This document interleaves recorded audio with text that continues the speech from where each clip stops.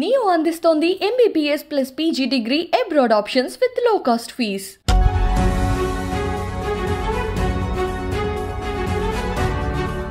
నమస్తే నేను Kavitha. Welcome to I dream news తెలంగాణలో రాజకీయ వాతావరణం మారిపోయింది.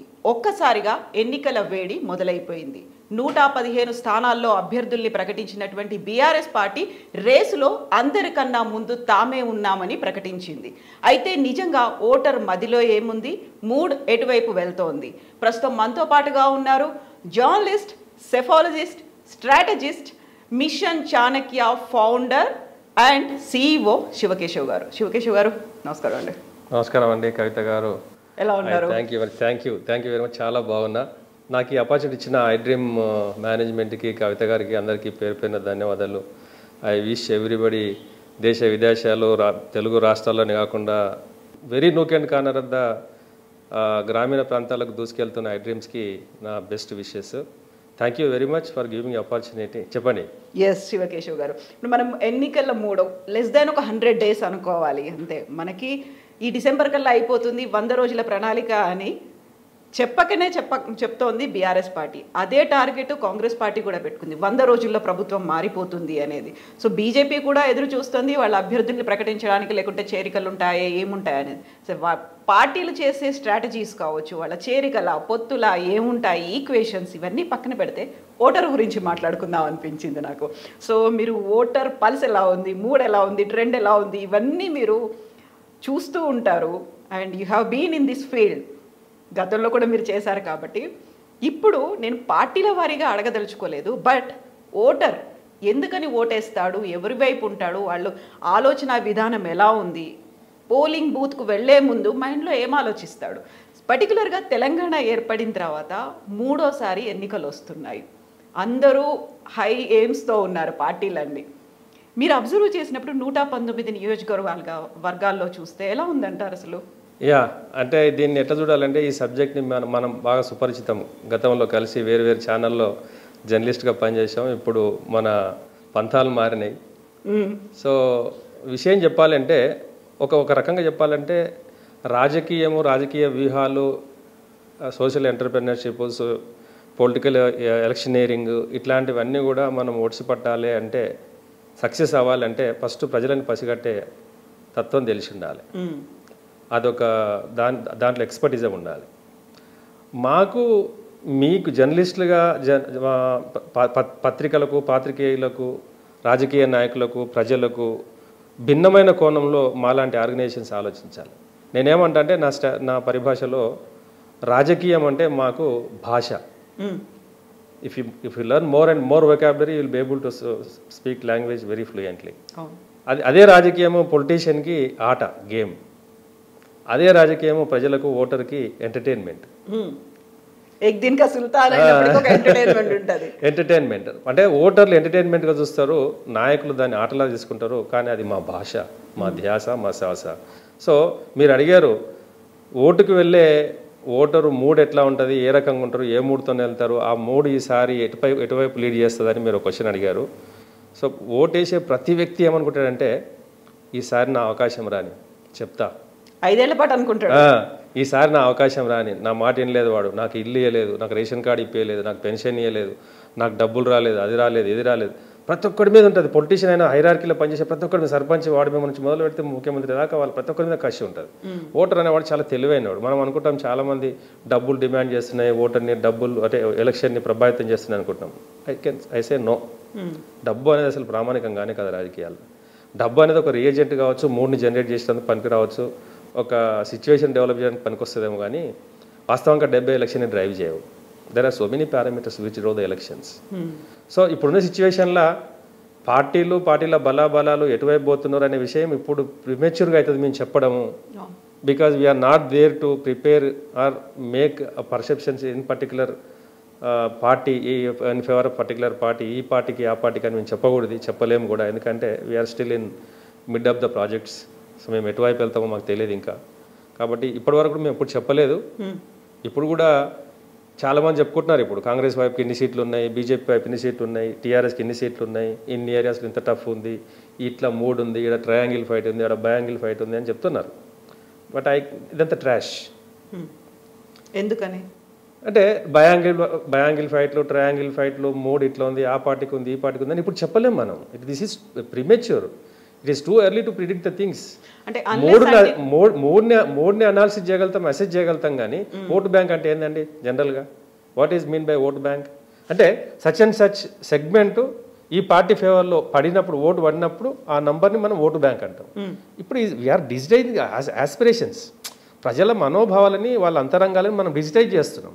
ఆ డిజిటైజ్ చేసే క్రమంలో ఎవరు ఎక్కడున్నారని చెప్తున్నాం అంతేగాని ఓటు బ్యాంక్ అనం దాన్ని. ఇప్పుడు చెప్పుకుంటున్న చాలా మంది కొంతమంది ప్రయత్నాలు చేస్తున్నారు. కానీ ప్రిమెచ్యూర్ అని నేను అంటా సో అన్లెస్ అంటిల్ వాళ్ళ క్యాండిడేట్స్ లిస్ట్ బయటికి రానంత వరకు ఇది ప్రిమెచ్యూర్ అవుతుందా? అసలు ఏ స్టేజ్లో మీరు వాళ్ళ పల్స్ పట్టుకుంటారు అసలు? అంటే ఒక రకంగా చెప్పాలనుకుంటే మా దగ్గర ఒక త్రీ ఫోర్ స్టేజెస్ ఉంటాయండి. ఎలక్షనీరింగ్లో త్రీ ఫోర్ స్టేజెస్ స్టేజెస్ ఉంటాయి. రా- ఎన్నికలను ప్రభావితం చేసే segments voter cadre community leader and parties. ఈ ఐదు కథా వస్తువులు ఇలా సో వీటన్నిటి కూడా ఎన్నికలకు ప్రధానమైనటువంటి మూల మూలకనం ఎవరు అంటే ఓటరు. ఓటరే ఈ ఎన్నికల్లో ప్రామాణికమైన వ్యక్తి. ఆయన ఎవరికి ఓటేస్తే వాళ్ళు గెలుస్తారు ఆ పార్టీ అధికారంలోకి వస్తారు సో మరి మనం అనుకుంటాం చాలామంది ఇప్పుడు నూట నూట పంతొమ్మిది నియోజకవర్గాలని తెలంగాణలో. కర్ణాటకలో చూసారా మీరు ఎలక్షన్ ఎట్లుండింది? త్రిశంకు స్వర్గం వస్తుంది మళ్ళీ రాదు మళ్ళీ హంగాసం వస్తుంది అని అన్నారు. కానీ జనము సిచ్యువేషన్ చూసి చూసి మాట్లాడుకున్నట్టే. మీరు ఇటు కర్ణాటక అనేది చాలా typical very political dynamic state అది. అంటే ఎంత డైనమిక్గా ఉంటుంది అంటే ఆ రీజియన్లలో చాలా డిఫరెంట్ సైక్స్ ఉంటాయి అంతా. మీరు ఇటు బీదర్ నుంచి మొదలు పెడితే బాల్కి అసెంబ్లీ కాన్స్టిట్యున్సీ బీదర్ నుంచి మొదలు పెడితే తెలంగాణ బార్డర్ నుంచి మొదలు పెడితే గుల్బర్గా నుంచి మొదలు పెడితే మీరు అటు మైసూరు కింద డౌన్లా మన మంగళూరు వైపు ఉడిపి మంగళూరు ఆ బెల్ట్ వరకు చాలా లాంగ్వేజ్ డైలెటిక్స్ కానీ భాష కానీ మాట్లాడే భాషలు కానీ వాళ్ళ జీవనశైలి కానీ అమాంతంగా మారిపోతుంది. వాళ్ళ జీవనశైలి మారిపోతుంది. ఇక్కడ ఉన్న పొలిటికల్ ఐక్యూ బెంగళూరుకి వచ్చే వరకు ఉండదు. బెంగళూరులో ఉన్న పొలిటికల్ ఐక్యూ మై మైసూర్లో ఉండదు. మైసూర్లో ఉన్న పొలిటికల్ ఐక్యూ మాండ్యాలో ఉండదు. మాండ్యాలో ఉన్నది చామరాజనగర్లో ఉండదు. ఏది అక్కడ మన కింద డౌన్లో మంగళూరులో ఉండదు. అంటే ఇంత భిన్నమైనటువంటి జియో పొలిటికల్ రీజియన్స్లో పబ్లిక్ అందరు కూడబలుకున్నట్టే ఓటేశారు. ఎట్లా వేశారు చెప్పండి మీరు? కాంగ్రెస్ వైపు మొత్తం గుద్దేశారు వాళ్ళంతా. అంటే ఈ ఈసారి ఎట్టి పరిస్థితులకు బీజేపీకి జేడీఎస్కి ఏమాత్రం అవకాశం ఇవ్వద్దు పొలిటికల్ డ్రామాలకి స్టంట్లకు అవకాశం ఇవ్వద్దు అని చెప్పేసి కన్సల్టేట్ అయిపోయారు. అంటే అంటే కూడబలుకున్నట్టే జనము మూడు షిఫ్ట్ అయిపోయింది. దట్ మీన్స్ ప్రజలు ఒకసారి మనసు మీద తీసుకున్న తర్వాత దీనికి మీరు కరీంనగర్ మనకు మనకు ఆదిలాబాద్ ఉంది. ఆదిలాబాద్లో ఎక్కడ? జైనత్ బేలా మండలం తీసుకుంటే ఆదిలాబాద్ ఆలంపూర్ దగ్గర లాస్ట్ ఆలంపూర్ ఇటుకేళ్ళపాడు మండలం మన ఆలంపూర్ మండలం. ఈ మూడు వందలు ఈ రెండు వందలు ఐదు వందల డిస్టెన్స్ ఈ డిస్టెన్స్లో మీరు మ్యాండేట్ చూడండి ఎట్లుంటుంది? కూడబలుకున్నట్లనే ఉంటుంది. అంటే ప్రజలు అనే వాళ్ళు చాలా ఐడెంటికల్గా ఆలోచిస్తారు యూనిక్గా ఆలోచిస్తారు. ఒకసారి ఫిక్స్ ఫిక్స్ అయిన అనుకోండి డెఫినెట్గా మ్యాండేట్ పర్ఫెక్ట్గా ఉంటుంది. అయితే ఇది ఎట్టుంటుంది అనే దానికి అందరు అనుకుంటారు. పోటీలో దిగే అన్ని అన్ని క్యాండిడేట్లు ఏమనుకుంటారు?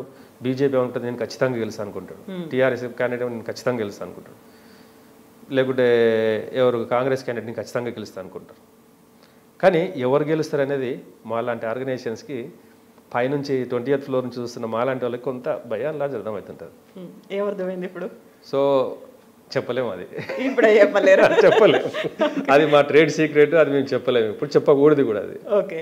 సో ఇప్పుడు అక్కడ నుంచి మీరు చూస్తున్నప్పుడు ఇక్కడ గ్రౌండ్లో ఏముంది? ఓటర్లు ఏం చేస్తున్నారు? లీడర్లు ఏం చేస్తున్నారు? ఇవన్నీ అనుకున్నప్పుడు యు గెట్ ఏ క్లియర్ ఒక పిక్చర్ వస్తూ ఉంటుంది కదా? ఆ టైంలో మీకు ఏమర్థమైంది ఓటర్ ఏం ఆలోచిస్తున్నాడు? ఆయన మైండ్లో ఏం పెట్టుకున్నాడు అనేది తెలుస్తుందా మీకు ఇప్పుడు?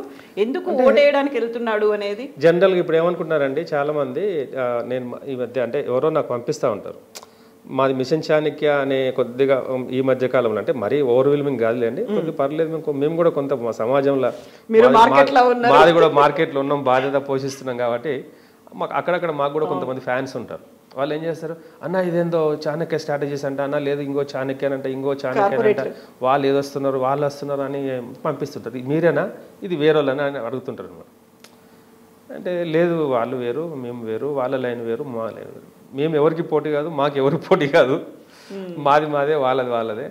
"ఆ, లేదు కాంగ్రెస్ వస్తుందని చెప్తున్నారు వాళ్ళు కొన్ని ముప్పై ఎనిమిది ముప్పై తొమ్మిది సీట్లలోనంట ఉమ్మడి ట్రయాంగిల్ ఫైట్ ఉందంట. నలభై ముప్పై ఏడు సీట్లలో టీఆర్ఎస్కి ఉందంట. కాంగ్రెస్ పార్టీకి ఎన్ని సీట్లు ఉన్నాయంట? అది ఉందా అంటే నేను సరే నేను నాకు తెలియదు అబ్బా అది ఎన్ని సీట్లలో ఉందో. నేను చెప్పలేను. తెలిసినా కూడా చెప్పకూడదు నేను చెప్పలేను. ఎందుకంటే నేను రాజకీయ పార్టీ నాయకుని కాదు ఒక రాజకీయ పార్టీ కోసం పనిచేసే వ్యక్తిని కాదు. నేను ఇప్పుడు మాట్లాడితే కొమ్ము కాసినట్లయితుంది. లేదంటే మిగతా వాళ్ళకి వ్యతిరేకం అవుతుంది. నాకు అన్ని పార్టీలలో అన్ని అందరి నాయకుల దగ్గర సమాంతరమైన రిలేషన్షిప్ ఉంది మంచి పేరు ఉంది ఒక క్రెడిబిలిటీ వీల్ చేసుకున్న ఆర్గనైజేషన్ మాది. కాబట్టి నేను మాట్లాడలేనని చెప్పాను. అంటే నేను చెప్పబోయే విషయం ఏంటంటే ఇంట్లో జిస్ట్ ఏంటంటే ట్రయాంగిల్ ఫైట్లు బయాంగిల్ ఫైట్లు మల్టీ కార్నర్ ఫైట్లు సింగిల్ ఫైట్ ఇవన్నీ ఏం ఫైట్ ఉండవండి. This is the era of convergence politics నా రీసెర్చ్ అవుట్కమ్ నేను చాలా రోజులు నుంచి చెప్తా ఉన్నా. ప్రపంచవ్యాప్తంగా లాస్ట్ డికేడ్కి ఇప్పటికి రెండు వేల నాలుగు నుంచి ఇప్పటిదాకా మీరు ఎలక్షన్లు చూడండి. రెండు వేల నాలుగు తొమ్మిది పద్ పద్నాలుగు పద్దెనిమిది ఇరవై మూడు. దాదాపు మనం ఇరవై ఐదు సంవత్సరాల చరిత్రను మనం వెనక్కి వెళ్ళి బ్యాక్గ్రౌండ్కి వెళ్ళి చూసుకుంటే నెమ్మదిగా ఓటు బ్యాంక్ రాజకీయాలు మారుతూ ఉన్నాయి. ప్రజల ఆలోచన సరళి మారిపోతూ ఉంది. ప్రజలు ఎవరికి వేయాలి అనేది ఫిక్స్డ్ ఫ్రేమ్ని మైండ్ సెట్ని ఫిక్స్ అయిపోయే ఉన్నారు. నేను ఒక పెక్యులారిటీ చెప్తాను నేను ఈ మధ్యకాలంలో మేము చేసినాం ఎవరు చేసినామని మీకు చెప్పలేము. Done with use data set ఎలక్షన్కి మూడు నాలుగు రోజుల వరకు కూడా మీకు అన్డిసైడెడ్ సెగ్మెంట్ కొంత eight to twelve percent undecided segment regular. కనిపించేది. But now the Telangana people has decided already they made their mind వారు వాళ్ళు ఎక్కడ పోతారు అనేది నేను చెప్పకూడదు ట్రేడ్ సీక్రెట్ కానీ ఇంత క్లారిటీతో ఉన్నారు. అయితే బయాంగిల్ ఫైట్లు ట్రయాంగిల్ ఫైట్లు ముప్పై తొమ్మిది సీట్లలో మల్టీ కార్నర్ ఫైట్ ఉంది ట్రయాంగిల్ ఫైట్ ఉంది బీజేపీ కాంగ్రెస్ బీఆర్ఎస్ ఎవరు క్యాండిడేట్ మంచివని పెడితే ఆ కాన్స్టిట్యున్సీ వీళ్ళకి no there are only three assembly constituency in Telangana state triangle fight కనిపించేది. అది కూడా ఉండదు మళ్ళీ లాస్ట్లో గెలిచేవాడు ఓడేవాడు. మళ్ళీ ఒకటి వికారాబాద్ అసెంబ్లీ రెండవది వనపర్తి మన sorry Kalwakurthy assembly and the other constituency someway near by Peddapalli అసెంబ్లీలో ఉంది ఒకటి. ఈ మూడు అసెంబ్లీ కాన్స్టిట్యున్సీ ట్రయాంగిల్ ఫైట్ కనిపించింది. అవి కూడా మళ్ళీ నెమ్మదిగా over period of time days to come మళ్ళీ ఎలక్షన్కి నియర్ కలిగేటప్పటికి అప్పుడు బయాంగిల్ ఫైటే కన్వర్ట్ అయిపోతుంది ఇక్కడ రెండు వేల పద్ పద్- పద్దెనిమిదిలో చూడండి మీరు. Bharatiya Janata party vote stake ఎంత? ఒకనొకప్పుడు మా పరి మా సొంతం పరి కాన్స్టిట్యున్సీ. ఫిక్స్డ్గా పదివేలు కంపల్సరీ బీజేపీలో పదివేలు ఓట్లు. వాళ్ళు బీజేపీకే వేసేది వాళ్ళు. ఇట్లా పాతకాలంలో కాంగ్రెస్ చేతి గుర్తు ముసలి అంటే వాళ్ళు కాంగ్రెస్కే వేసేది. ఇప్పుడు ఆ చాలా లాయల్గా ఉండేది అక్కడే. వెయ్యాలని లేదు ఇప్పుడు లేదు మూడ్ మారిపోయింది పబ్లిక్ థాట్ ప్రాసెస్ మారిపోయింది.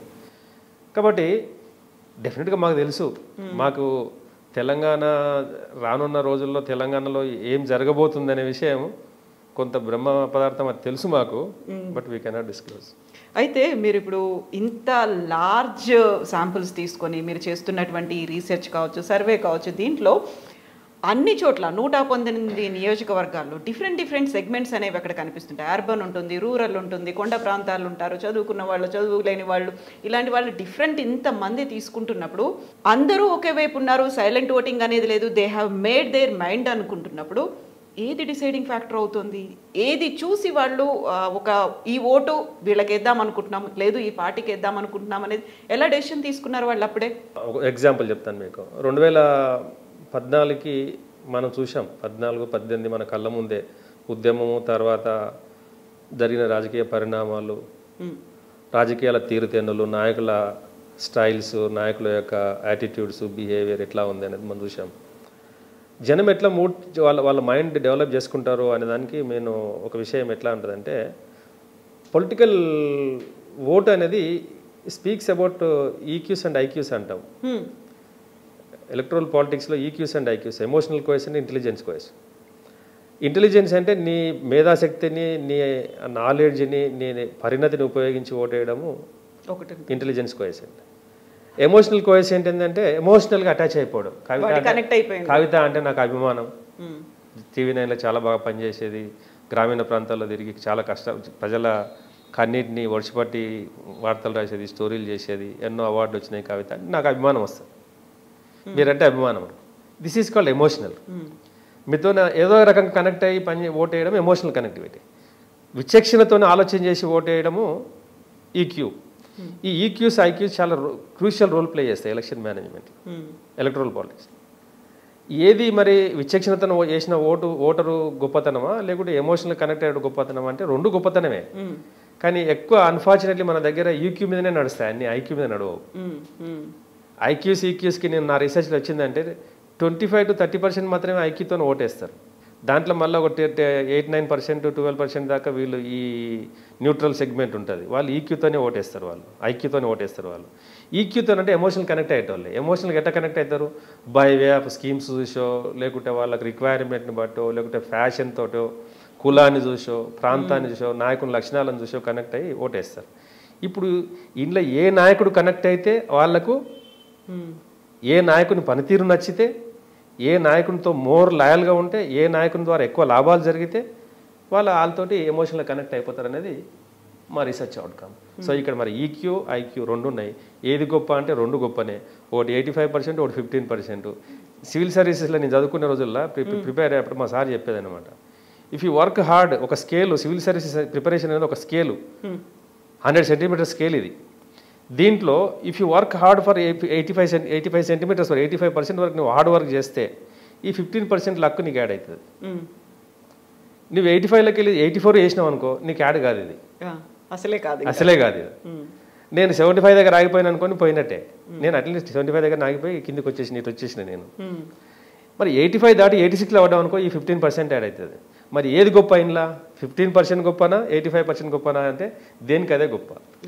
ఇంట్లో రాజకీయాల్లో కూడా ఎలక్ట్రల్ పాలిటిక్స్లో కూడా ఈక్యూ గొప్పనా ఐక్యూ గొప్పనా అంటే దేనికి అదే గొప్ప. కానీ ఐ ఈక్యూతో ఓటేసేటోళ్ళు ఎనభై శాతం ఉంటారు ఐక్యూతో ఓటేసేటోళ్ళు ఫిఫ్టీన్ పర్సెంట్ ఉంటారు.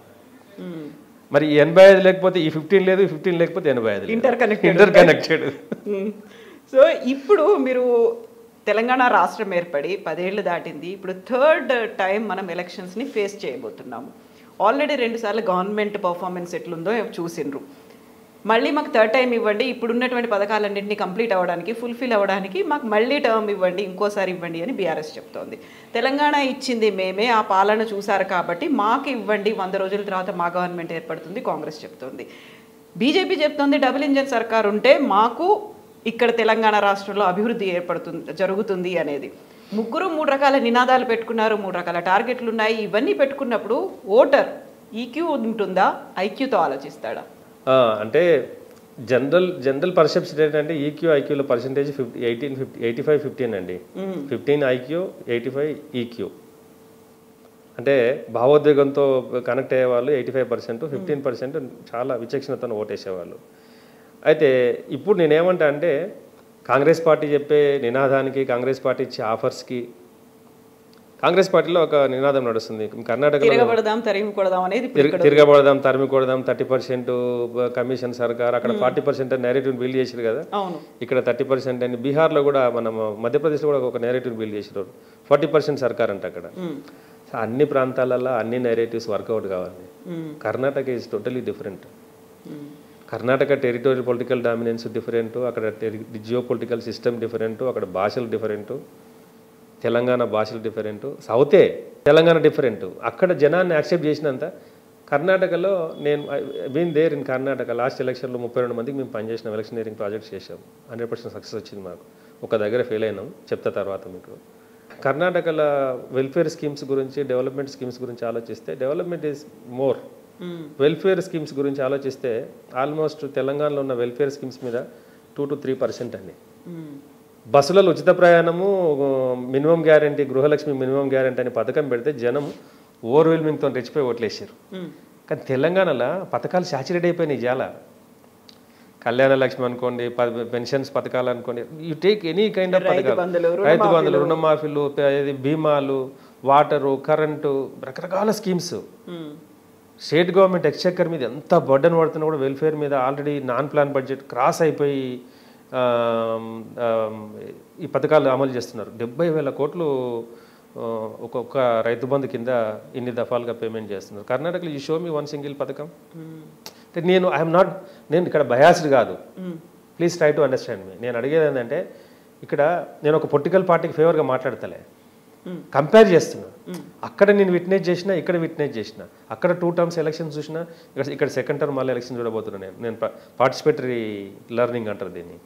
అంటే అక్కడికి ఇక్కడ నేను కంపేర్ చేస్తున్నా. జనం ఎవరిని చూజ్ చేస్తారు అని అంటే ఎవరు పెడతారో వాళ్ళకే ఆలోచిస్తారు. తెలంగాణ మనకు సామెత ఉంది. రోజు ఓ బిచ్చపైన ఓ గల్లీకి వచ్చి పెట్టే అమ్మకి రోజు వచ్చి అడుక్కునేవాడంట ఎవరు పెట్టేది కాదంట. ఒక ఆమె మాత్రం పెట్టేదంట. ఒక రోజు ఆమెకు జ్వరం వచ్చి ఏదో లేదన్నా అన్నం ఉండలేదన్న అంటే బాగా ఆకలి ఉంది ఉన్నాడంట లాస్ట్ తిట్టుకుంటూ పోయినట్టు రోజు పెట్టనామంటే పెట్టపోయా పెట్టమునకేమొచ్చే? అని తిట్టిండండి అంటే ఇప్పుడు ఎట్లుందంటే ఎందుకు నెక్స్ట్ ప్రజలు నెక్స్ట్ ఆల్టర్నేట్ గురించి ఆలోచిస్తారు? కడప నిండా ఉన్నప్పుడు సాచురేషన్ అయినప్పుడు ఆలోచిస్తారు. దాన్ని కూడా ఒడిచిపట్టుకునే స్ట్రాటజీస్ నాకు తెలిసి సోకాల్ కేసీఆర్ గారు మామూలు వ్యక్తి కాదు. అంటే నేను ఆయన్ని పొగడతలే. ఆయన is a kind of stalwart legendary personality ఆయన పోలార్ పోల్ అంట నేను. మా తెలంగాణ మా పొలిటికల్ పరిభాషలో పోలార్ పోల్ అంటే పోల పోలార్ రీజియన్ అంటే హైట్ కదా. దాంట్లో ఇంకా ఇది పోల్. ఇది.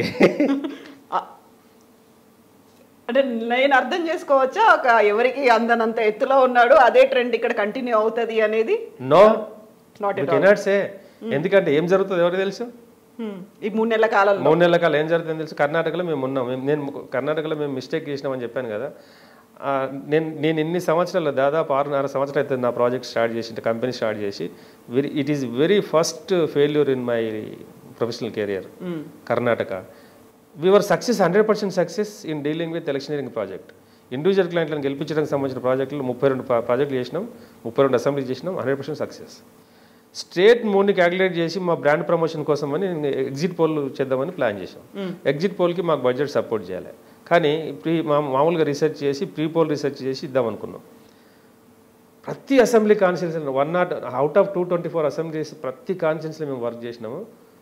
One on one fight one one point five to two percent ఫైట్లు ఉన్న assemblies one on one ఫైటే one to two percent difference ఉన్నాయి అయితే కాంగ్రెస్ లేదా బీజేపీ అయితే జేడీఎస్ లేదా బీజేపీ ఇట్లా ఫైట్లు ఉన్న ఏరియాస్ ఉన్నాయి. ఈ ఏరియాస్లో పనిచేసినప్పుడు మోడీ స్వింగ్ బెంగళూరులో మోడీ పనిచేస్తున్నాడు మోడీ స్వింగ్ విపరీతంగా వచ్చింది. జనం విపరీతంగా వచ్చారు ర్యాలీకి మా టీం మిస్టేకెన్ వన్ పర్సెంట్ గ్యాప్లో బెనిఫిట్ అవుట్ అవుట్ కింద దాని instead of giving it Congress BJP case BJP KCR దాంతో మా లెక్క తప్పిపోయింది. That is very we lost the project అంటే అది ఫెయిల్ అయినాం మేము. అంటే ఇక్కడ కూడా మాకు చాలా బాగుంది ఈరోజు ఫిగర్స్ బాగున్నాయి. ఆ? మేము మీ మాకుండదంటే మాకుంది మాకుందంటే మాకుందని వాళ్ళకు వాళ్ళు అనుకునే సందర్భంలో మిస్టేక్స్ జరుగుతాయి. ఆ మిస్టేక్స్ని అంటే మంచి చెడుని సమాంతరంగా ఆలోచన చేసి మనం కనుక ఈ కరెక్షన్స్ అప్లై చేయగలిగితే డెఫినెట్గా సక్సెస్ అవుతారు వాళ్ళు. అట్లా ఈ ఈ లొకేషన్ ఎక్కడ ఏది మంచి ఏది చెడు అనే ఒక అంశపాత్ర పాలు నీళ్ళు అనే దాన్ని. అంశపాత్ర పోషిస్తుంది మాలాంటి ఆర్గనైజేషన్స్ ఒకవేళ మేము కనుక ఉన్నాం అనుకోండి. అయితే ఇక్కడ ఇంత క్లియర్గా మీరు ఒక క్లారిటీతో వాళ్ళకి చెప్పుతున్నప్పుడు ఏది డిసైడింగ్ ఫ్యాక్టర్ ఫ్యాక్టర్ అవుతుందని మీరు చెప్తారు? అంటే అభ్యర్థుల ఎంపిక అవుతుందా? లేకుంటే వాళ్ళు సెలెక్ట్ చేసుకునేటువంటి మేనిఫెస్టో అవుతుందా? లేకుంటే ఫ్యూచర్ ప్లాన్స్ ఏమున్నాయనేది అవుతుందా? గతంలో ఏం చేశాము? ఏం చెప్తున్నాము అనేది ఉంటుందా? అసలు ఏది మెయిన్ ఫ్యాక్టర్ అవుతుంది పార్టీల పరంగా? అంటే మన మన భారతదేశంలో అనుకోండి ప్రపంచవ్యాప్తంగా వచ్చిన పరిణామాలు అనుకోండి ఆ, కొద్దిగా ప్రజలలో చైతన్యము సామాజిక చైతన్యము డిజిటల్ ఏమంటారు చైతన్యము ఇవన్నీ చాలా విస్తృతంగా వచ్చినాయి. ఫింగర్ టిప్స్ మీద మనకు సమాచారం ఉంటుంది. ఎవరెవరు ఏం చేస్తున్నారు అనే విషయం చాలా పక్కన తెలిసిపోతుంది. ఇన్సైట్స్ అర్థమైపోతుంటాయి. ఏ నాయకుడు ఏందనేది ఆయన హ్యాండిల్స్ మన సోషల్ మీడియా హ్యాండిల్స్ మనం చూస్తే ఆ ఇన్సైట్స్తోనే మనకు అర్థమవుతుంది లోపల. మీరు మొన్న రీసెంట్గా నేను రీసెంట్ ఎగ్జాంపుల్ చెప్తాను మీకు. మైనంపల్లి హనుమంతరావు వర్సెస్ పద్మాదేవేందర్ రెడ్డి. హరీష్ హరీష్ రావు గారి మధ్యలో. ప్రోగ్రామ్. ఆ ఇన్సైట్స్ చూస్తే ప్రజలు ఎవరికి సపోర్ట్ చేస్తున్నారని అర్థమవుతుంది మనకు. మీరు బై మీరు మామూలుగా వ్యూస్ అవి చూడకండి. ఆ లోపల ఉన్న కామెంట్స్ ఇన్సైట్స్ చూడండి అర్థమవుతుంది. ప్రజల ఎంత తెలివైన వాళ్ళు అర్థమవుతుంది. అట్లా మాకు కూడా మేము ఇన్సైట్స్ అర్థమవుతుంటుంది మాకు. కాంగ్రెస్ మాట్లాడుతున్నప్పుడు వచ్చే ఇన్సైట్స్ బీజేపీ మాట్లాడుతున్నప్పుడు వచ్చే ఇన్సైట్స్ టీఆర్ఎస్ మాట్లాడుతున్నప్పుడు వచ్చే ఇన్సైట్స్ ఉంటాయి కదా. ఆ ఇన్సైట్స్ని ఏమంటారు ప్రాసెస్ చేసి అవుట్పుట్ తీసే మెకానిజం మొత్తం ఉంటుంది కాబట్టి మాకు అర్థమవుతుంటుంది అనమాట అంటే ఏది రోల్ ప్లే చేస్తుంది అంటే బై అండ్ లార్జ్ నమ్మకం అంటే ప్రజలు ఎవరైతే ఎవరి పట్ల అయితే మైండ్ మేకప్ చేసుకుంటారో అది ఉంటుంది. కొద్దిగా కనెక్టివిటీ ఉన్న నాయకునికి ఫెచ్చింగ్ ఉంటుంది. కనెక్టివిటీ లేని వాళ్ళకి క్రెడిబిలిటీసి రాజకీయంగా ముందరికి రావాలి ఎదగాలి సక్సెస్ అవ్వాలి అనుకుంటే బ్యాక్ హిస్టరీ గతం తెలుసుకోలేడు వర్తమానంలో జీవించలేడు వర్తమానంలో జీవించలేడు భవిష్యత్తు గురించి ఆలోచించలేడు. అట్లా భూత భవిష్యత్ వర్తమాన కాలాలని సమాంతరంగా ఆలోచించిన వ్యక్తి ఖచ్చితంగా సక్సెస్ అవుతాడు. రిస్క్ టేకర్స్ ఆర్ అచీవర్స్ అట్లా ఇట్లా అచీవర్స్ ఎవరు అనేది అన్ని ప్రజలు బాగా దగ్గరికి వెళ్ళి చూస్తుంటారు. ఇక్కడ తె- మన తెలంగాణ ప్రాంతంలో సౌత్ ఇండియాలో ఒక ట్రెండ్ ఏమైంది? ఆంధ్ర కానీ తెలంగాణ కానీ తమిళనాడు కర్ణాటక కేరళ ఈ ఐదు రాష్ట్రాలలో సౌత్ ఇండియాకి నార్త్ ఇండియా పాలిటిక్స్కి చాలా డిఫరెన్స్. దట్టు మళ్ళీ మన సౌత్లో కూడా తెలుగు రాష్ట్రాలకి నాన్ తెలుగు స్టేట్స్కి మళ్ళీ చాలా డిఫరెన్స్. దట్ మన తెలంగాణకి ఆంధ్రకి మళ్ళీ ఇంకా చాలా డిఫరెన్స్ పెక్యులారిటీ చాలా డిఫరెంట్ పొలిటికల్ పెక్యులారిటీ ఉంటుంది. ఇక్కడ ప్రజలు నాకు అనుకుంటా నేను డెవలప్మెంట్ అండ్ వెల్ఫేర్ కోటేస్తారేమో అని అనిపిస్తుంది. అంటే ఎవరు హామీ ఇస్తే ఎవరు ఎక్కువ హామీ ఇస్తే ఎవరు ఎక్కువ అట్రాక్ట్ చేయగలిగితే ఎవరిని నమ్మగలిగితే వాళ్ళకి వేస్తారేమో అని అనిపిస్తుంది. సో ఇక్కడ కూడా ఉత్తర తెలంగాణ దక్షిణ తెలంగాణ ఉన్నాయి కదా. ఆ- రెండు ప్రాంతాలు కూడా ఈక్వల్గా ఆలోచిస్తున్నాయా? అంటే డిప్ డిపెండ్స్ అండి.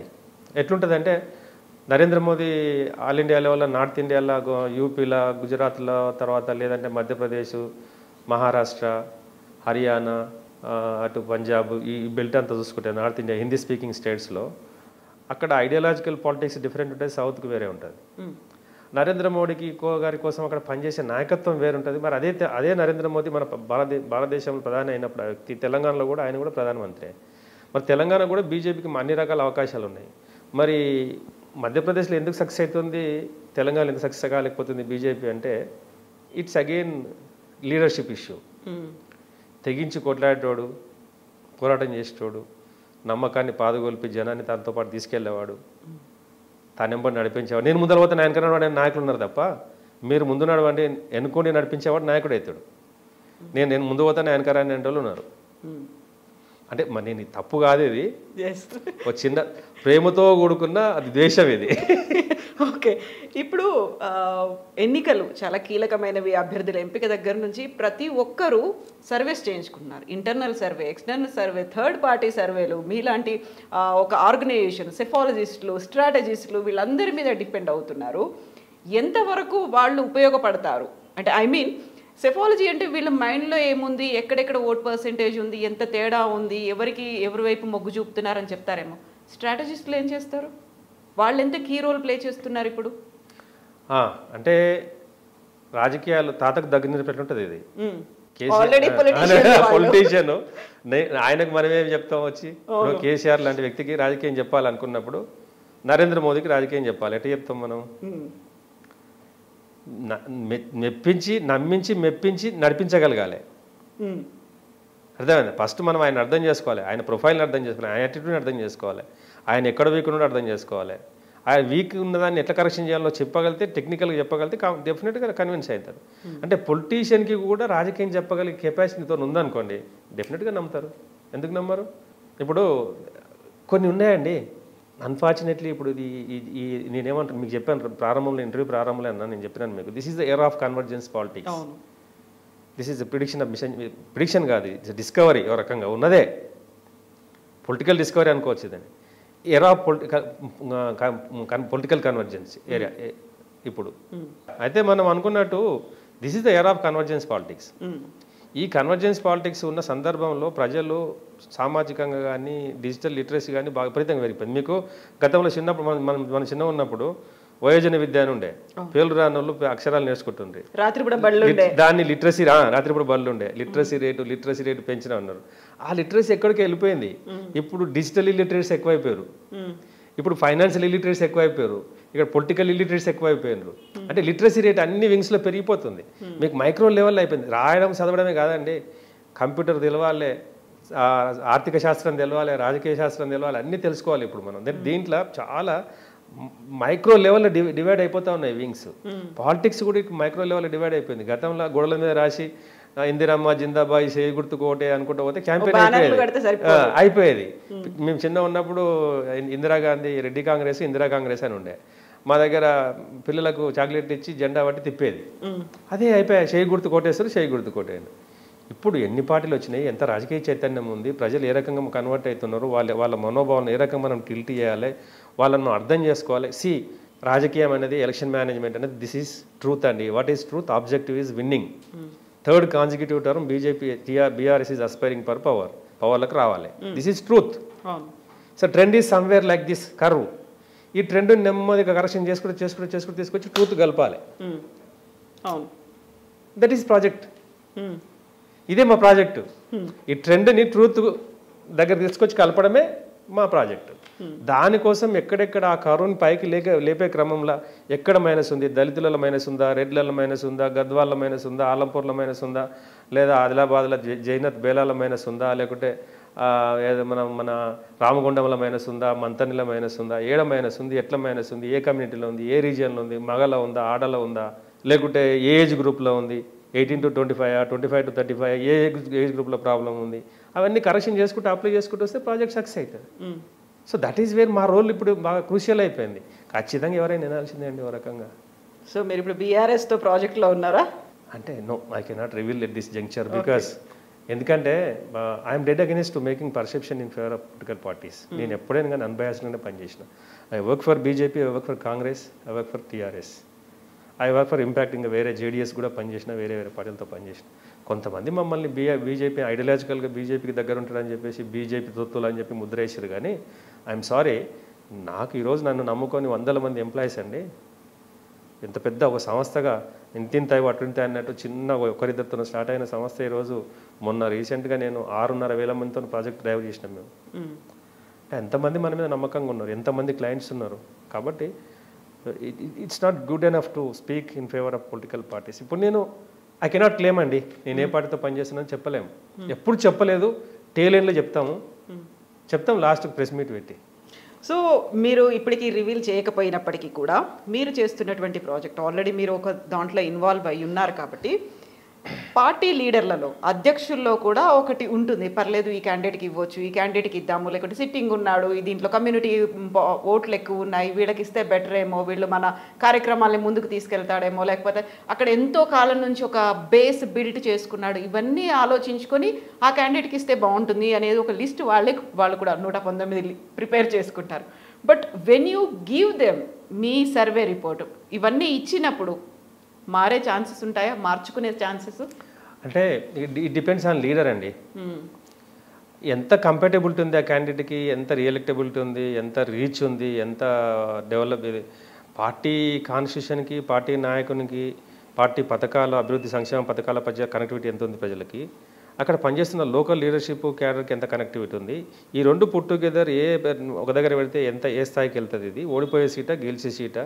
See driving a political party is different and driving government is different అండి. గవర్నమెంట్ అనే దానికోసం మనకు సపోర్టివ్ సిస్టమ్ ఉంటుంది. గవర్నమెంట్ బాగా గమనించండి రాజకీయాల్లో రెండు కోణాలు ఇప్పుడు. ఒక పొలిటికల్ పార్టీ డ్రైవ్ చేయడం పొలిటికల్ పార్టీ నడు నడిపించడం వేరు ఒక ప్రభుత్వాన్ని నడిపించడం వేరు. ప్రభుత్వాన్ని నడిపించడానికి no need to use your hundred percent బుర్ర వాడాల్సిన అవసరం లేదు దానికి. దానికి సపోర్టివ్ సిస్టమ్ ఉంటుంది. బ్యూరోక్రాట్స్ ఉంటారు. మేధావర్గం ఉంటుంది అడ్వైజర్స్ ఉంటారు వ్యవస్థ ఉంటుంది. ఇక్కడ ఉన్నది ఈ- సిస్టమ్ వేరు.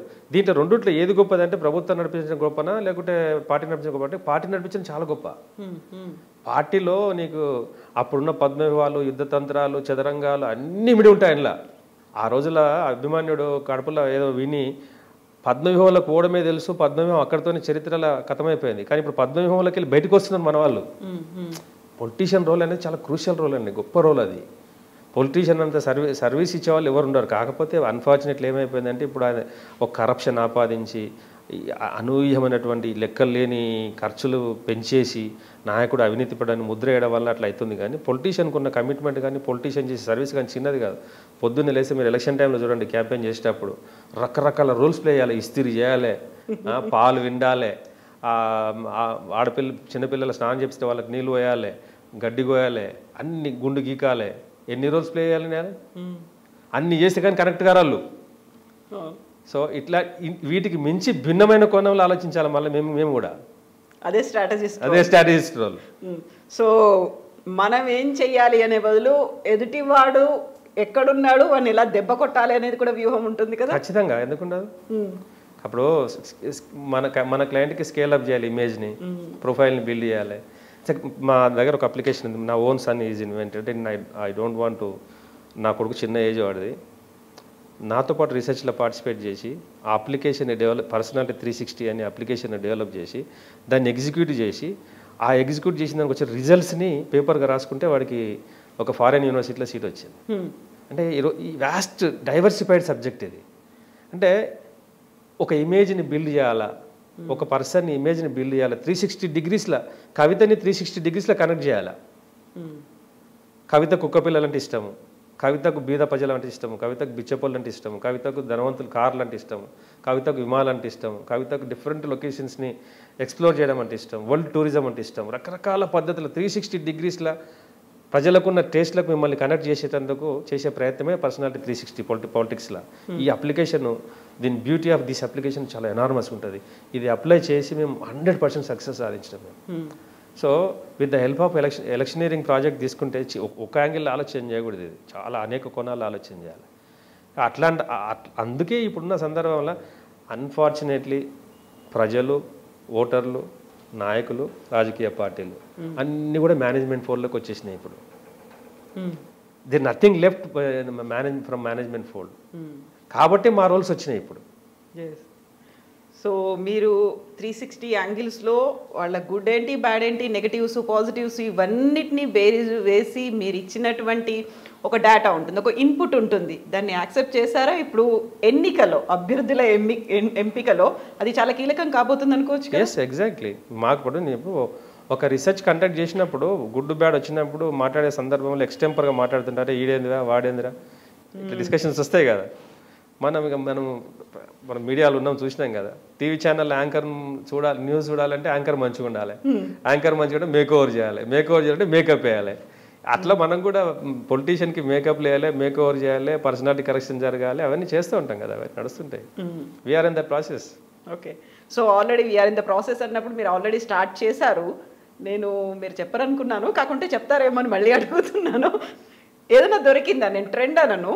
పల్స్ అనను మూడ్ ఎటువైపు ఉంది? ఎటువైపు అయినా టిల్ట్ అవుతోంది లేకపోతే ఏదైనా మారుతోంది అనేది ఏమన్నా అబ్జర్వ్ చేశారా మీరు? Yeah Kavitha garu I'm extremely sorry to express this అంటే ఆన్సర్ ఏంటంటే చెప్పలేము. చెప్పలేము. Hundred comments no comments no comments అంటే ఈ ఒక్కదానికే మాత్రం నో కామెంట్ ఎందుకంటే తెలంగాణ అయినా మేము చేసే ప్రాజెక్ట్ ఏదైనా కానీ. Andhra Andhra Andhra have some confidence ఏంటంటే నాకు మా మా ఫ్రెండ్స్ కొంతమంది ఆపరేట్ చేస్తారు. వీ హ్యావ్ కొన్ని ప్రాజెక్ట్స్ కూడా వేరే మిక్స్డ్ క్లైంట్ ప్రాజెక్ట్స్ ఉన్నాయి. But it is again towards YRC YSRCP లాగా కనబడుతుంది మాకు. Mm. ఎందుకంటే ఒక సెగ్మెంట్ ఎలైట్ సెగ్మెంట్ అంతా యాంటీగా మాట్లాడుతున్నారు. అంటే అంటే పవర్ మాంగర్స్ బిజినెస్ పీపుల్ తర్వాత ఎలైట్ సెగ్మెంట్ బయట నుంచి ఆంధ్రప్రదేశ్ చూస్తున్న వాళ్ళు ఇన్ఫ్రాస్ట్రక్చర్ కొలాప్స్ అయింది రాజధాని లేదు ప్రాజెక్టులు లేవు. అగ్రి మన పోలవరం సంకటం మొత్తం ఇదైపోయింది. పోలవరం మొత్తం సత్యనాథ్ చేసేసారు. వేరే ప్రాజెక్టులు లేవు అనే యాంగిల్ ఇంటర్ప్రిట్ చేస్తున్నారు. బట్ ఈ నవరత్న స్కీమ్స్ ఈ పథకాలతోటి దీంతో కొంత ఈ lower middle class and middle class segment seems to be very happy with Jagan so మాకు మేము as being electioneering company strategy company మాకు కొంత ఉంటుంది కదా. It's again looks like hundred and చెప్పలేము కానీ but it's good then what about ఇక్కడ coalition అంటే ఇప్పుడు వీళ్ళంతా కలిపి ఒక కూటమిలాగా ఉండాలి పొత్తులు పెట్టుకోవాలి సీట్ల పంపకాలు ఇవన్నీ ఆలోచిస్తున్నారు. జనసేన టీడీపీ ఉంది అక్కడ బీజేపీ ఉంది. అంటే ఎవరు ఏం చేసినా కూడా పర్సెప్షన్ కొద్దిగా డిఫరెంట్ ఉంటుందేమో. పబ్లిక్ ఆలోచన డిఫరెంట్ ఉంటుందేమో. రాయలసీమలో డిఫరెంట్ ఉంటుంది కొద్దిగా. ఇట్ ఇట్ కుడ్ బి అంటే అనంతపూర్ తర్వాత కర్నూలు జిల్లాల్లో కొంత తెలుగుదేశం పార్టీకి కలిసి వచ్చే అవకాశాలు ఉంటాయి ఈ రాజంపేట బెల్ట్లో ఇక్కడ బల్జావాలని కాపు కాపుసుల కాపులు అంటారు. ఆ బెల్ట్లో కొంత జనసేన కనెక్టివిటీ ఉంది. తిరుపతి ఆ బెల్ట్లో కొంత టీడీపీ కొంత కనెక్టివిటీ ఉంది. బట్ వేరేజ్ మీరు ఇటు నెల్లూరు నుంచి ప్రకాశం కృష్ణా గుంటూరు కోస్తా దాటుకొని అటు ఈస్ట్ వెస్ట్ ఉత్తరాంధ్రకి వెళ్తుంటే కొద్దిగా డిఫరెంట్ ఉంటుంది మళ్ళీ ఉత్తరాంధ్ర రెండు జిల్లాల్లో మళ్ళీ కొద్దిగా డిఫరెంట్ ఉంటుంది. So by and large it seems to be in favour of YCP ఎందుకంటే మాకు అక్కడ ఫీలర్స్ వస్తూ ఉన్నాయి. కనిపిస్తుంది. మీరు కేటగారికల్గా మేము ఎవరిని మేము ఎవరిని టచ్ చేస్తే ఏ టిప్ టచ్ చేస్తే ఎక్కడి నుంచి ఏ మనసులు వస్తుందో మాకు తెలుసు కాబట్టి మేము దీంట్లో ఏంటంటే స్టాటిస్టికల్ నార్మలైజేషన్ ఏం చేస్తాం డేటాలో అంటే జర్నలిస్ట్గా మీరు ఇచ్చే విశ్లేషణ ఒక కామన్ మ్యాన్గా ఒక రైతు ఇచ్చే విశ్లేషణ ఒక రైతు కూలి ఇచ్చే విశ్లేషణ ఒక ఇల్లు లేని నిరుపేద ఇచ్చే విశ్లేషణ దీనికి వాళ్ళ సంఖ్యకు ప్రపోర్షనేట్గా వాళ్ళ అభిప్రాయాన్ని మనం యాట్రిబ్యూట్ చేసి వెయిటేజ్ ఇస్తాం. దాన్ని బట్టి చూస్తే సైంటిఫిక్గా చూస్తే కొద్దిగా there is difference that's all I can say then what about కేంద్రం కేంద్రం అనేది I let you know later off the off the record మాట్లాడుకుందాం మనం. ఓకే ఎందుకంటే మనము పెద్దది సబ్జెక్ట్ చాలా పెద్దది. స్టేట్ వైడ్గా రాష్ట్రాలు రాష్ట్రాల వైజ్గా మాట్లాడుకోవాలి. రీజనల్ పార్టీస్ ఉన్నాయి. రీజనల్ పార్టీస్ ఉన్నాయి. ఈ మధ్య కాలంలో ఇండియా అని చెప్పేసి వాళ్ళు పెట్టుకున్నారు. సో దీంట్లో చాలా లొసుగులు ఉన్నాయి కొన్ని పాజిటివ్స్ ఉన్నాయి ప్రతిపక్షాలకు కూడా కొంత పాజిటివ్స్ ఉన్నాయి. టూ టర్మ్స్ అధికారంలో ఉన్న ఏ గవర్నమెంట్ కానీ డెఫినెట్గా there should be some kind of anti incumbency ఉంటుంది. యాంటీ ఇన్కంబెన్సీ ఏ స్థాయిలో ఉంది? దొబ్బేసే స్థాయిలో ఉందా? లేకుంటే మళ్ళీ పైకి లేసే స్థాయిలో ఉందా? దీంట్లో కొన్ని ఇంకా ఇంకా ఈక్వేషన్స్ ఉన్నాయి. డెఫినెట్గా దాని మీద మీతో మాట్లాడతా ఇన్ఫర్మేషన్ షేర్ చేస్తాను నేను. సో రెండు సార్లు వచ్చింది యాంటీ ఇన్కంబెన్సీ అనేది కేంద్రంలో ఎట్లుంటుందో తెలంగాణలో కూడా అట్లనే ఉంటుంది కదా? అప్రాక్సిమేట్లీ ఇంచుమించు బయాన్ లార్జ్ సి ఈ ఊరికి ఆ ఊరు ఎంత దూరం ఆ ఊరికి ఊరు ఎంత దూరం మనం మాట్లాడుకుంటాం కదా. అట్లా కేంద్రంలో రెండు డబుల్ ఇంజిన్ సర్కార్ ఇట్లుంటుంది అట్లుంటుంది అని వాళ్ళు చెప్తున్నారు కదా. వాళ్ళకి ఇక్కడ కూడా క్లెయిమ్ చేసుకుంటున్నప్పుడు అక్కడ వాళ్ళకి బీజేపీ వాళ్ళు తెలంగాణ స్టేట్లో క్లెయిమ్ చేస్తున్నప్పుడు కే- కేసీఆర్ని కొట్టేసేయండి దాని చేయండి అది ఇది అని మాట్లాడుతున్నారు కదా. మరి వాళ్ళకి పైన కూడా అదే అవుతుంది. అదే సెగ తగులుతుంటుంది. ఇక్కడ వీళ్ళు కూడా అదే సెగ తగులుతుంటుంది ఎవరికి వాళ్ళు కరెక్షన్ చేసుకుంటూ ఉంటారు రాజకీయంగా. కానీ బై అండ్ లార్జ్ ఎందుకో మళ్ళా again it's going in right direction right direction ఎవరి వైపు అనేది okay I can connect the lines between lines I can ఎవరికైనా అర్థమవుతుంది లేండి బట్ మనం ఎప్పుడు మాట్లాడుకోవచ్చు అంటారు? మళ్ళా ఎవరికి ఎన్ని సీట్లు వస్తున్నాయి? ఎవరి వైపు మెజారిటీ ఉంది ఎవరి వైపు మొగ్గు ఉంది? ఫస్ట్ సెకండ్ ప్లేస్లో థర్డ్ ప్లేస్లో ఎవరున్నారు అనేది ఎప్పుడు మాట్లాడుకోవచ్చు మనం? అంటే నేను మళ్ళీ యూనివర్సల్ ఫిలాసఫీ చెప్తాను మీకు ఇది. భగవద్గీతలో శ్రీ శ్రీకృష్ణుడు చెప్తుంటాడు అర్జునునికి. అంటే కాలానికి ప్రాంతానికి అతీతమైనటువంటి శక్తిని నేను. ఒక బ్యాక్టీరియా లైఫ్ టైం ఒక సెకండ్ ఉంటుంది ఫ్రాక్షన్ ఆఫ్ సెకండ్ ఒక ఈగ లైఫ్ టైం టూ డేస్ ఉంటుంది. ఒక మనిషి ఒక పాము ఆవు కుక్క ఒక డాగ్ తీసుకుంటే దాని టెన్ టెన్ ఫోర్టీన్ ఇయర్స్ ఒక ఆవుది ఫార్టీ ట్వంటీ ఇయర్స్ మనిషిది హండ్రెడ్ ఇయర్స్ కానీ ఇట్లాంటి మనుషులు కోటాను కోట్ల మనుషులు చచ్చిపోయేటోళ్ళు చాలామంది అంటే అర్జున్కి తెలుసు అనమాట కృష్ణునికి తెలుసు అన్ని. ఎవరు ఎప్పుడు చచ్చిపోతారు ఏమవుతుంది ఏం జరుగుతుంది ఎక్కడ యుద్ధం వస్తుంది ఎక్కడ యుద్ధం రాదని కనబడుతుంటుంది పైకి వెళ్ళి అట్లనే మాకు కూడా అంటే అంత గొప్ప కానీ కంపారిజన్ కోసం చెప్తున్నా. డోంట్ థింక్ అదర్వైజ్ మాకు కనబడుతుంటుంది ఎలక్షన్ చూస్తుంటే. మిడ్ ఆఫ్ ద ఎలక్షన్ దగ్గరకు వస్తుంటే మాకు అర్థమవుతుంటుంది కనబడుతుంటుంది. ఎవరు ఓడిపోతారో ఎవరు గెలుస్తుందో తెలుస్తుంటుంది. కానీ పాపం బాగా స్పిరిట్తో కొట్లాడుతుంటారు వాళ్ళు. నేనంటే నేను నేను గెలుస్తాను నేను నలభై వస్తాను నాకు ముప్పై వస్తాను నాకు యాభై వస్తాను అని కొట్లాడుతుంటారు.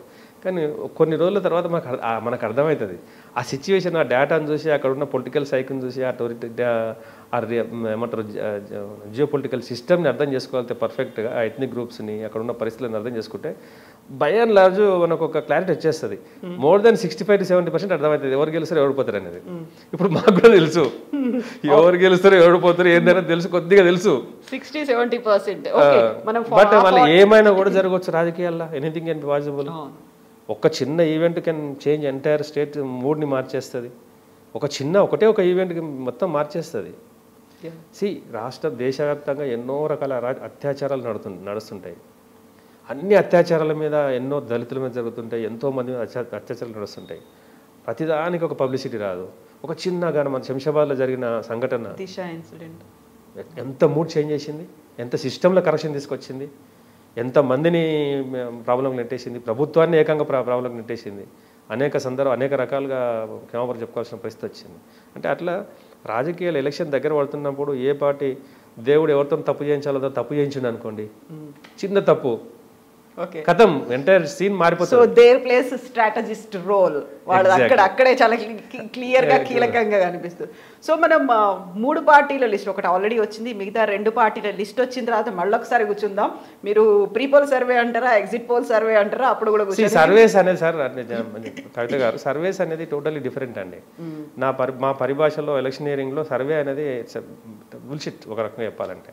సర్వే అనేది ఎట్లా అంటే జస్ట్ ర్యాండమ్గా ఎవరైనా చేయొచ్చు అండి మీరు చేయొచ్చు నేను చేయొచ్చు ఇంకోరు చేయొచ్చు ఇంకో చేయొచ్చు. రెగ్యులర్గా మనం రోజు చేసే పద్ధతే మనం టీ కొట్టు కాడికి పోయినప్పుడు అవుట్ ఆఫ్ క్యూరియాసిటీ ఎవరికి గెలుస్తారు ఈసారి అని ర్యాండమ్గా అడగొచ్చు. అడుగుతాం అడుగుతాం మనం.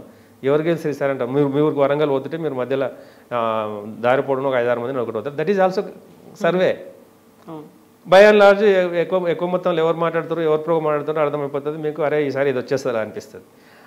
దానికి కూడా అందని పల్స్ ఈరోజు ఒకప్పుడు టార్గెట్ గ్రూప్స్ అంటాం మనం.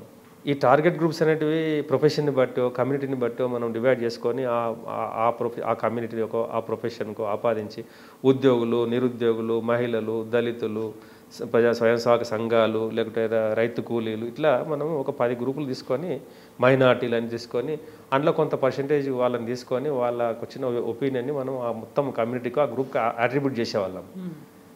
నేను చెప్తున్నా కదా ఇప్పుడు స్కినారియో మొత్తం మారిపోయింది. Those groups are divided disintegrated into many groups మీకు పది గ్రూపులు పోయి వంద గ్రూపులు అయినాయి అవి. ఆ వంద గ్రూపులను రీచ్ కావాలి మనం డిఫరెంట్ కొనాల్లో రీచ్ కావాలి.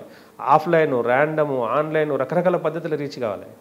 దానికోసం చేసిన రీసెర్చే మేము that is very we are success అండి. అందరికీ మాకు భిన్నత్వం ఎందుకు భిన్న భిన్నంగా పనిచేస్తాం మేమంటే భిన్నంగా ఆలోచిస్తాం కాబట్టి సక్సెస్ అయినాం.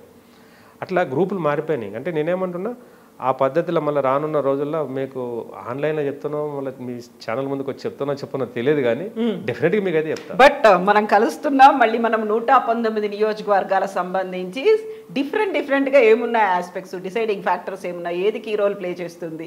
ఇప్పుడు మనం మూడు గురించి మాట్లాడుకున్నాం అప్పుడు ట్రెండ్ గురించి కూడా మాట్లాడుకుందాం. తప్పకుండా అవసరం వస్తే సందర్భం వస్తే if time permits definitely will share with you no problem yes thank you so much Shivakeshav garu thank you thank you thank you very much అండి Thank thank you very much అండి for giving this opportunity thank you అండి all the very best thank you so much అండి that's all with Shivakeshav garu this is Kavitha signing off